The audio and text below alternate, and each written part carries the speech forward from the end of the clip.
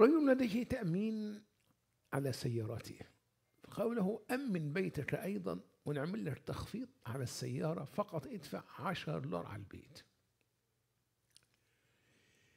ابتداء التأمين التجاري الذي تمارسه شركات التأمين المعاصرة بمختلف صوره من العقود الفاسدة.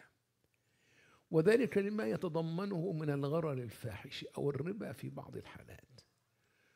ويشرع كل من التأمين التكافلي الذي تقوم به شركات التأمين الإسلامية والتأمين الاجتماعي الذي تقوم به الدول والمؤسسات العامة في واقعنا المعاصر.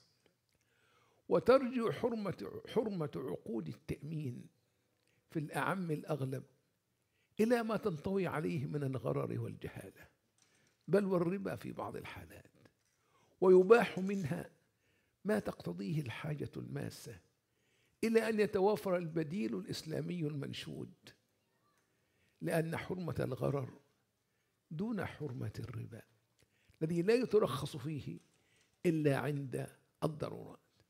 فإن كانت حقا في حاجة ماسة إلى هذا التأمين شملته الرخصة لا سيما مع زهادة القيمة كما تذكر والمرء أمين على دينه والله تعالى أعلى وأعلم